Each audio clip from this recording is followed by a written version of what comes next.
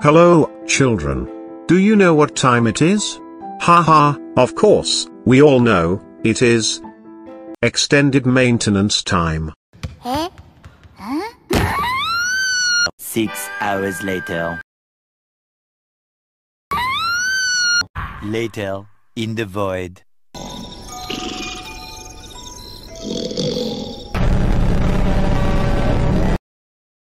Oh. We're back. Right. Well then, let's see what Gumi has prepared for us, for this week. The maintenance might have taken a while, but Papa Gumi do have a nice present for us, for our patience. The daily purchase bonus gets you some soul stars. But if you wanna show Papa Gumi that you are a big baby now, then the one time, big baby purchase bonus gets you select winter unit shards, as well as winter unit mind spheres, which will really help you pretend that winter is actually here, even though it's September. Moving on to the banners, we have the expected 5-step banner for the new Earth Vision card. For the winter stuff, you have a 5-step for the winter vision cards, at the end of which you can select one of the two winter VCs. For the winter units, the main banner has all of them. If you do go all the way to pity, you will be guaranteed one, random winter unit. But if you also get enough medals to get the exchange ticket from the medal pity, which lets you select whichever winter unit you want. For the big baby spenders, there's the 6k paid Visiore banner, which gets you a random winter unit at level 99.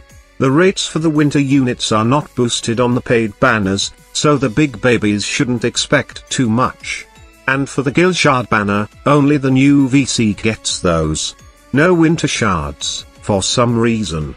Moving on to the deluxe shop, the disappointment streak continues, as there isn't much here that is worth spending paid Visiore for. At least, in my opinion. For the regular shop, as usual, get the free stuff and the stuff available for Gil. Also, absolutely avoid this. This is awful.